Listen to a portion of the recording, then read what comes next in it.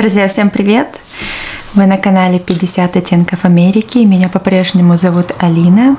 Я снимаю различные видео про Америку, про свою жизнь здесь, как здесь что происходит, про то, как живет моя семья, чем мы питаемся, чем мы дышим, да, куда мы ходим, и вообще про американцев, про их культуру и про то, как я вижу э, своими глазами эту страну. Сегодня будет интересное видео а, на тему «Можно ли в Америку приехать без языка?» и как здесь будет жизнь, если ты приедешь без языка. Ну что, поехали? Прежде всего, для тех, кто не смотрел мое видео, как я попала в Америку, обязательно посмотрите его. Одно из предыдущих видео. И вам немножко станет понятна история обо мне. И что хотела бы сказать про себя я приехала в Америку с языком. Но, как оказалось, уровень моих знаний был намного ниже, чем я себе представляла это. Я всегда думала, что у меня уровень upper intermediate – то есть практически advanced. Кто не знает, upper intermediate – это выше среднего уровень, и advanced – это уже продвинутый уровень. Я думала, что мой уровень близок к продвинутому. Но оказалось все, к сожалению, печальней, чем я себе это представляла. Да, я здесь по приезду училась в языковой школе, где я, конечно же, немножко потянула английский.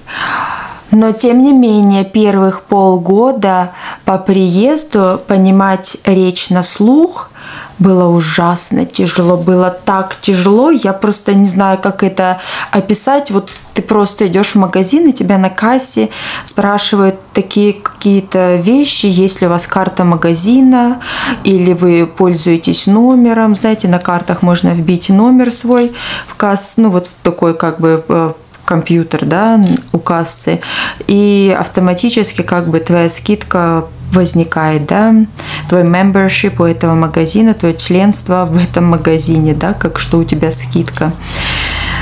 Но получилось так, что я вообще не понимала, что они спрашивают. И даже такой элементарно вам нужен пакет, сколько э, я вникала постепенно. Было очень тяжело, очень тяжело. Вот даже вот такие вот случаи на кассе у меня спрашивали, если, если дайте у вас есть penny или дайте у вас есть никол, и ты такой, а вообще в чем дело? Что это такое, да? Потом уже ты понимаешь, что penny это 1 цент монетка, да? Никол это 5 центов монетка. Но ты вообще всего этого не понимаешь и не знаешь, и тебе кажется, что вообще твой английский просто ну, практически нулевой, да? Здесь уже по приезду в Америке мне его оценили как уровень intermediate, то есть уровень средний. В принципе, да. Я могла объясниться, я могла сказать, кто я, что я, что мне нужно, какие-то базовые банальные вещи, но если человек что-то говорил как бы, ну вот, быстро, да, не все говорят быстро, если человек что-то говорил такое вот то вот мне нужно от вас это, это, это, допустим, какие-то бумаги, то тут уже это была все катастрофа, все, до свидания. Но через полгода постепенно мой язык улучшился. Эм, да, я пошла здесь еще на курсы в колледж. Да. Сбили меня с мыслей. Муж звонил, но тем не менее. Упс. Я через полгода только я стала понимать, да, вникать вообще, что говорят, и поняла, что то, что я учила, оно отличается. Затем я пошла уже в колледж, и уже в колледже я стала очень активно учить английский язык, что мне, безусловно, помогло. Как приезжают наши люди. Кто приезжает с языком, кто приезжает без языка, кто приезжает с языком, так скажем, с начальным. Все приезжают по-разному. Я знаю без имен. Я говорю все без имен. Я знаю одну девушку, которая приехала сюда по программе Work and Travel 18 лет и осталась. Она получила документы, каким способом, я в это углубляться не буду. Это совершенно другая история. Она получила документы и что она сделала? Она пошла учиться на медсестру и закончила. Училась она долго, затем у нее родился ребенок, затем она пошла на повышение квалификации. Как вы знаете, медсестра – это здесь очень престижная профессия, очень высокооплачиваемая. Вообще медицинские профессии все высокооплачиваемые. Соответственно, она приехала сюда абсолютно без языка, учила язык, занималась, да, получала образование, и сейчас она выбилась в очень хорошие люди. То есть человек приехал совершенно без языка, с каким-то очень базовым, ну вот с банальным, просто школьным английским, да. Я знаю женщину, которая сюда приехала в возрасте 55 лет. Она, в принципе, она хорошо устроилась. Эта женщина замужем за русскоговорящим мужчиной. Она живет достаточно русскоговорящем районе. Я так скажу, что очень многие там русскоговорящие живут, и она работает а, с русскоговорящими, соответственно, проблем общения у нее нет. Однажды у нее был случай, что она где-то не там переходила дорогу, и ее остановил полицейский и начал ей что-то говорить, что, мол, ты не там переходишь дорогу. Она ничего не поняла, она позвонила своему знакомому, тот ей перевел, да, и вот э, это было не так давно, и это было немножко, так скажем, она была ну да, в такой ситуации, когда ей бы и надо понять, что происходит, потому что это полиция, но с другой стороны она не могла понять, что происходит, потому что языка у нее не было, да. Очень многие русскоговорящие, это в основном таки относится к тем, кто приезжает в Америку в возрасте, наверное, постарше, да, чем вот молодежь, они селятся в русских районах, в русскоговорящих районах и ищут себе работу, что-то связанное с русскими, да, где ты можешь легко объясниться. И они прекрасно здесь живут себе всю жизнь, общаясь с русским населением. К нему также относятся и армяне, да, которые говорят по-русски, и другие просто русскоговорящие лос-анджелесцы, да, так мы их назовем. И они себя чувствуют совершенно спокойно, и это никак их не ущемляет, да, они себе спокойно зарабатывают, даже здесь можно, ну, к примеру, да, ты хочешь поехать отдыхать, ты пойдешь в туристическое агентство в русское, и тебя отправят в какой-то, ну, допустим, если это Лас-Вегас, они тебя отправят в отель с русской группой. Вот, допустим, есть э, собираются русские группы, да, и прям на автобусе здесь с Лос-Анджелеса едут в отель. То есть все русскоговорящие, они едут в отель, э, там, где, конечно же, их селят, да, э, то есть они с друг другом общаются, то есть со своими же общаются, да, со своими же ходят э, в казино на какие-то экскурсии, да, точно так же тебя могут отправить и на Гавайи с русской группой или в отель, где русские работают, и ты будешь себя чувствовать совершенно спокойно, не зная английского.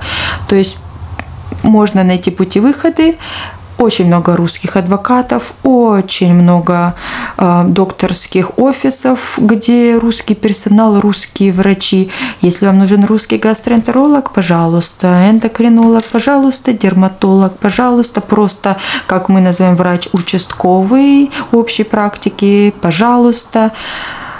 Это нет проблем.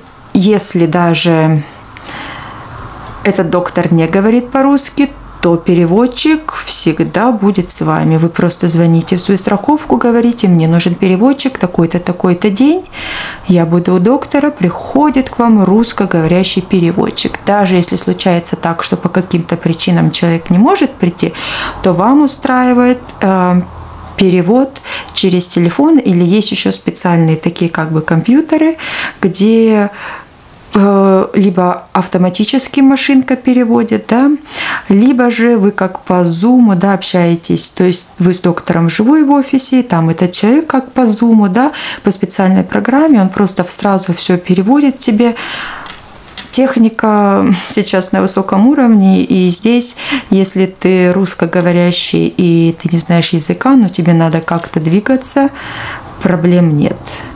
Но, конечно же, это не исключает той возможности, что все-таки язык надо знать и знать на достойном уровне, если ты живешь в англоговорящей стране. Все выбирают себе разные пути, разные дороги. Кто-то приезжает в 20 лет и горит желанием учить язык, кто-то приезжает в 20 лет и хорошо себе ну, находит какую-то нишу да, с русскоговорящими и чувствует себя абсолютно комфортно.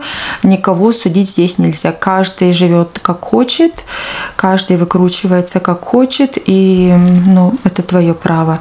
Если ты хочешь идти учить язык, очень много бесплатных программ, бесплатных курсов. Это особенно при колледжах государственных. Называется English as a Second Language, ESL класс. Они, как правило, проводятся вечером, бывает и утром. И ты просто туда ходишь и учишь язык совершенно бесплатно. Opportunities, возможности учить язык очень много. Главное желание. Такие программы, а, как ESL класс, а, English as a Second Language проводятся и онлайн, особенно в период пандемии, очень много. То есть, пожалуйста, ты можешь выбрать любую и сидеть заниматься. Я уже молчу о том, что можно и образование получать онлайн. Замечательно, да?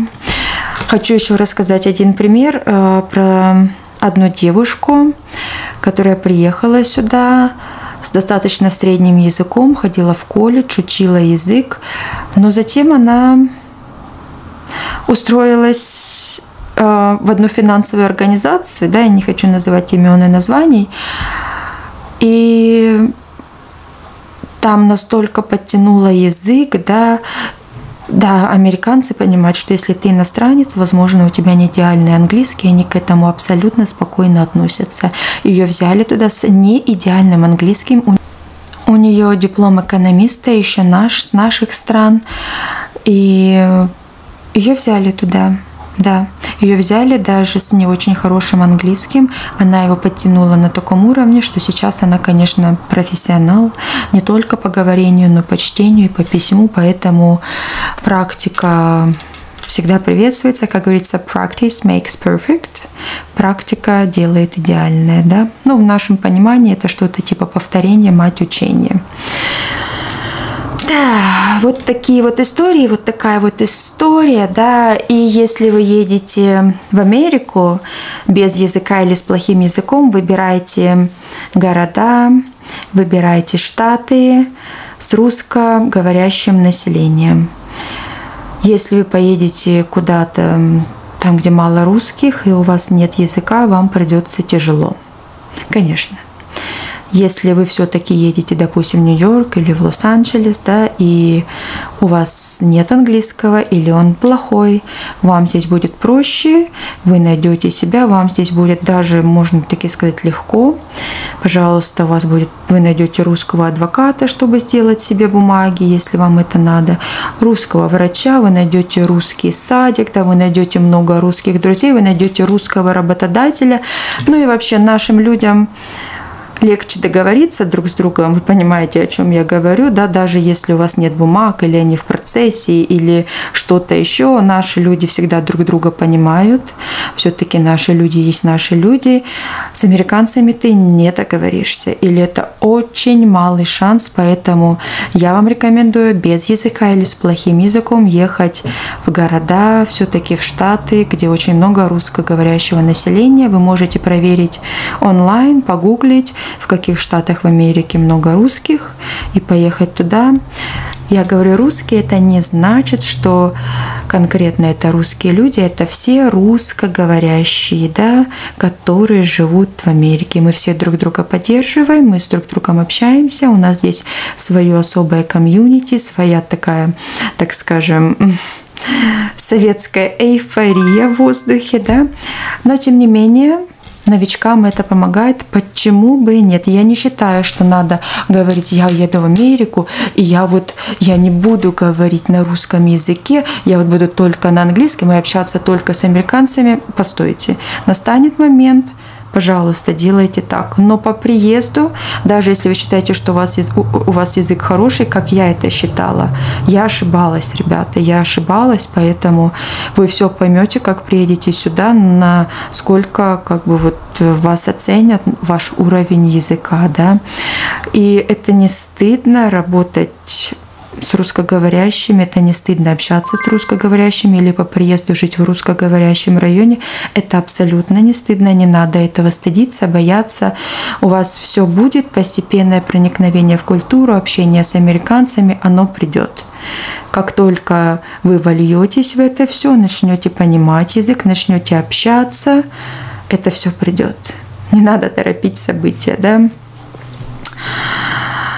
И вообще, Американцы очень лояльно относятся к тем, кто учит их язык. Если вы делаете ошибки, они никогда вам не скажут, ты сделал ошибку. Нет. Все спокойно на это реагируют, то есть будьте спокойны, что американцы никогда вам ничего не скажут плохого или дурного, что вы не так говорите или с акцентом или еще что-либо-нибудь. Ну, то есть эм, вы примерно послушали мои истории. Я надеюсь, вы вдохновились. Будьте спокойным. Если вы приезжаете сюда с плохим языком, ничего страшного не случится. Вы его подтянете даже бесплатно. У вас будет много возможностей утром ходить на занятия, вечером ходить на занятия или же заниматься онлайн. Возможностей очень много. Главное желание. Если оно есть, у вас все получится. И, кстати, даже на права здесь в Америке можно сдавать на русском языке. Поэтому не теряйте надежды. Зная русский язык, вы, вы сможете многое здесь. Особенно в каких-то штатах, где много русского языка, русскоговорящего населения. В общем, друзья, вот такой был видосик. Если вам понравилось это видео, оно было для вас чем-то полезным или просто интересным, поставьте пальчик вверх. Не забываем подписываться на канал, кидайте комментарии внизу, и мы увидимся с вами в следующем видео. Bye, guys! Пока!